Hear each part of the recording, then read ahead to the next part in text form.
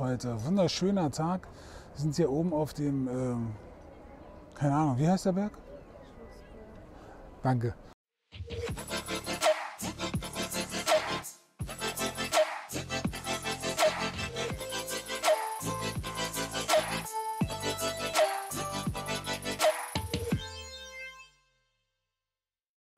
Servus aus der Südsteiermark hier, um genau zu sein, äh, aus Graz vom Schlossberg.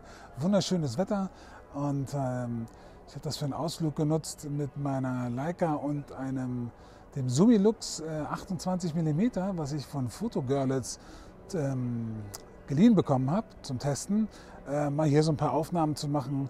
Und ähm, ja, bei der Gelegenheit, so eine schöne Location, dachte ich, könnte ich auch mal ein bisschen was ähm, zum Sumilux erzählen. Vielleicht mal ganz allgemein. Die Brennweite von 28 mm war tatsächlich in der Vergangenheit keine Brennweite, die mir wirklich ähm, ja, gefiel. Ich konnte damit nicht so richtig was anfangen, war weder Fisch noch Fleisch. Ich bevorzugte eher die 24 oder eben die ähm, 35 mm. Aber ich hatte Anfang, äh, Ende, Ende des letzten Jahres, Anfang dieses Jahres die Gelegenheit, mit der Leica Q2 ein bisschen mehr äh, mich auseinanderzusetzen. Und im Zuge dessen äh, habe ich tatsächlich die 28 mm sehr zu schätzen gelernt. Tolle Brennweite, ähm, sehr schön für Reportage, so Familienleben, Street auch ganz cool.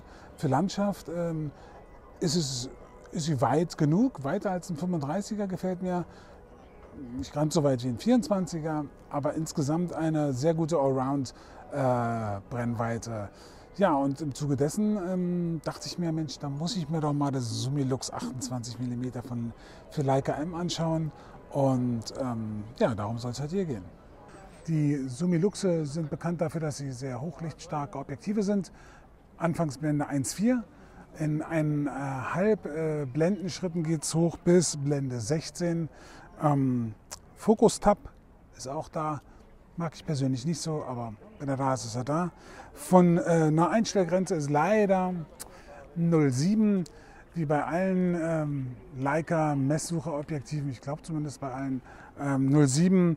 Und ähm, ja, fässt sich halt äh, fantastisch an. Leica-typisch, super Fertigungsqualität. Ähm, die Sonnenblende ist wie bei den ganzen neuen ähm, Generation verschraubbar.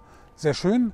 Was ein bisschen schade ist, das Objektiv ist halt doch sehr groß, geschuldet seiner ähm, Lichtstärke. Das heißt, die Sucherblockage ähm, ist leider doch etwas groß. Nicht so schön, wenn man Dinge in die rechte untere Ecke platziert oder ein wichtiges Bilddetail dort ist. Das finde ich jetzt nicht so schön. Aber ansonsten äh, wunderschöne Bildqualität, schon offen, äh, sehr schön scharf und ähm, ja, das Bouquet, die, also von der Schärfe zur Unschärfe, fällt sehr schön ab. Man kann schön freistellen damit, was ich persönlich sehr toll finde und äh, was ich auch sehr gerne nutze. Das Leica Sumilux 28 mm ist ja ein ähm, asphärisches Objektiv. Was bedeutet das? Ähm, es ist so, dass ähm, hochwertige Objektive ähm, aus verschiedenen Glaselementen aufgebaut sind und ähm, verschiedene sphärische Elemente sorgen dafür, eben diese bestimmte Bildfehler ähm, zu eliminieren.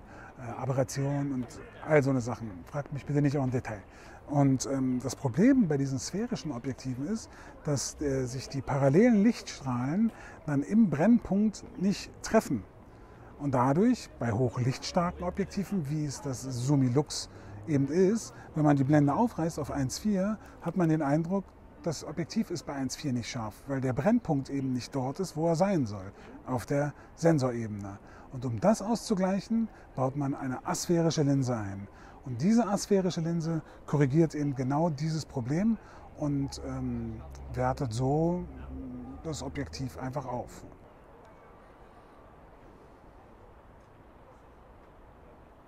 Zum Abschluss bleibt mir eigentlich nicht mehr viel zu sagen, außer dass 28 mm eine sehr schöne Brennweite ist, dass Sumilux für die Leica M ein traumhaftes Objektiv ist. Ähm, es gibt bei der Bildqualität nichts zu meckern, es gibt bei der Fertigungsqualität nichts zu meckern. Gut, der Preis ist natürlich eine Hausnummer. Da gibt es den einen oder anderen, der sehr wohl was zu meckern hat. Ich kann nur sagen, ähm, wenn man das Kleingeld hat, wenn man sich dieses Objektiv leisten kann, ähm, dann gibt es eine ganz, ganz klare Kaufempfehlung. Jetzt genieße ich mit meiner Familie noch das schöne Wetter. Wir laufen den Schlossberg runter.